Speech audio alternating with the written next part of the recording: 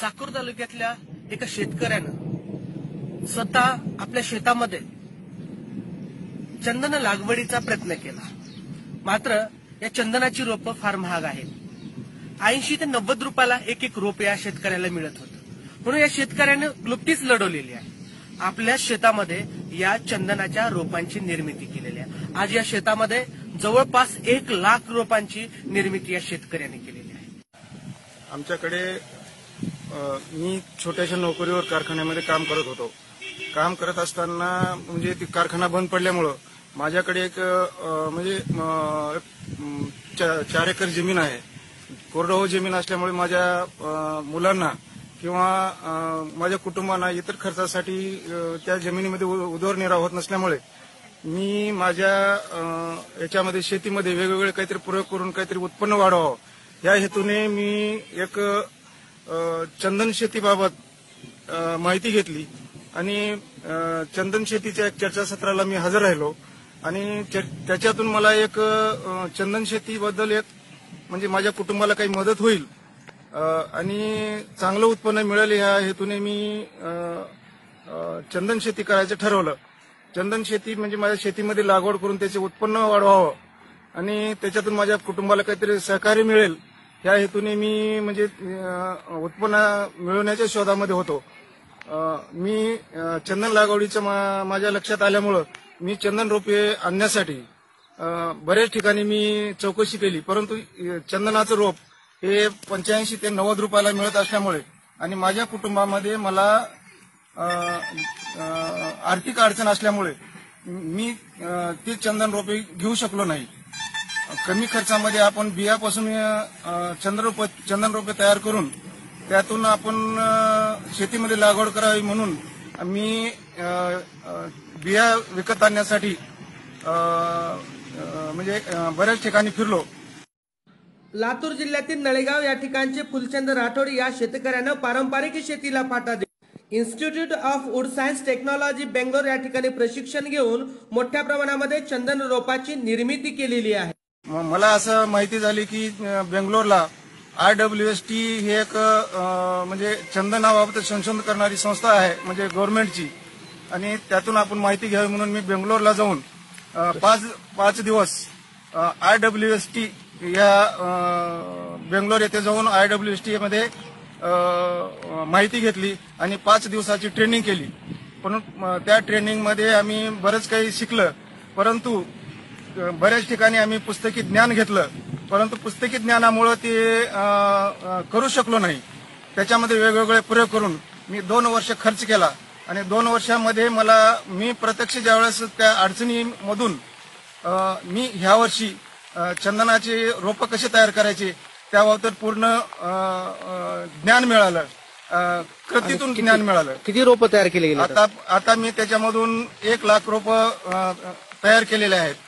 आणि किती रुपयाला आता विक्रीला ठेवले तुम्ही? आता आम्ही एक रोप पंचवीस रुपयाला आम्ही विकतो. लहान मोठे आणि मो- मोठे आहेत. दोन फुटापेक्षा उंच आहेत. त्यांची किंमत थोडी जास्त जास्त आहे. परंतु शेतकऱ्याला परवडेल. आता मी माझ्या अनुभवावरून किंवा मला चंदनाच्या रोपाची किंमत जास्त असल्यामुळं मला परवडत नसल्यामुळं मी करू शकत नव्हतो. तसंच शेतकऱ्यांना परवडावं त्याच्यासाठी मी कमी किमतीमध्ये शेतकऱ्यांना आता रोप देऊ शकतो आणि शेतकऱ्यांनी त्याचा म्हणजे पूर्ण फायदा घ्यावा आणि कमी किमतीमध्ये आणखी जास्त उत्पादन जर झालं तर आणखी आम्ही याच्यापेक्षाही कमी किमतीमध्ये तुम्हाला रोप शेतकऱ्यांना देऊ शकतो. या ठिकाणी ही मोठी मोठी झालेली रोप. ही आता शेतकऱ्यांसाठी अगदी माफक स्वरूपामध्ये जसं की ऐंशी रुपयाला मिळणारं रोप आता या ठिकाणी फक्त पंचवीस रुपयाला उपलब्ध आहे. जेणेकरून माझ्या ग्रामीण भागातल्या शेतकऱ्यांना या रोपांचा फायदा व्हावा त्यांनी लागवड करावी.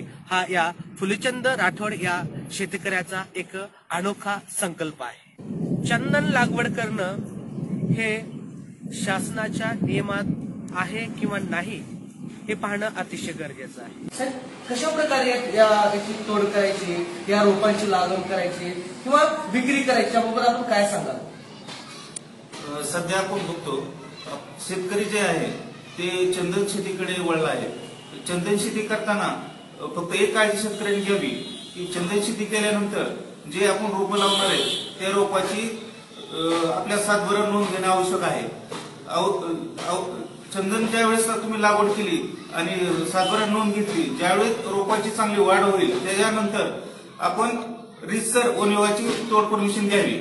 तोड परमिशन घेतल्यावर आपल्याला जे चंदनामध्ये जे उत्पन्न निघणार आहे किंवा हे होणार आहे त्याला आपल्या बाजारपेठेमध्ये त्याला खूप मागणी आहे. आसपास जवळजवळ चार हजार रुपये त्या चंदनाला भाव आहे आता मार्केटमध्ये. तर आपण रितसर वनोगाची तोड परमिशन घ्यावी ही फक्त विनंती आहे. चंदन ज्यावेळी आपण शेतामध्ये लागवड करतो या चंदन लागवडीची नोंद आपल्या तलाट्याच्या माध्यमातून सातबारावर करणं अतिशय गरजेचं आहे.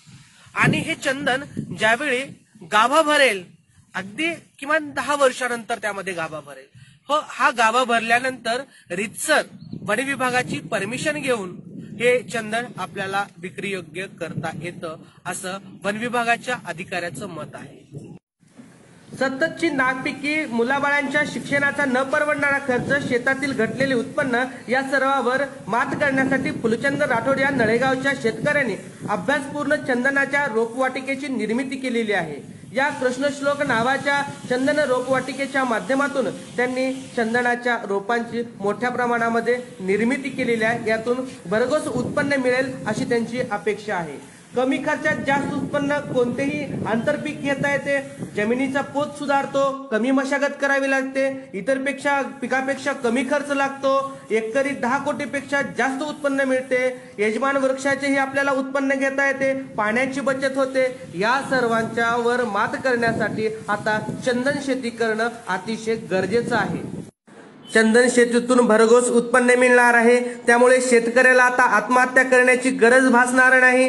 त्यांना शेतीच्या उत्पन्नातूनच आपला उदरनिर्वाह आपल्या मुलाबाळांचे शिक्षण होणाऱ्या उत्पन्नातून आता पूर्ण करू शकणार आहोत अशी कल्पना व्यक्त केली जात. चंदन शेतीबाबत अधिक माहिती जाणून घेण्यासाठी संपर्क साधा फुलचंद राठोड नव्वद एकोणपन्नास चाळीस सत्याऐंशी दहा. Sachin कांबळेसह Sushil Waghmare Mahabharata news Chakur. Krishnashlok Chandan nursery Udgir road Nalegaon. अगदी माफक दरात अभ्यासपूर्ण बनवलेली चंदन रोपे.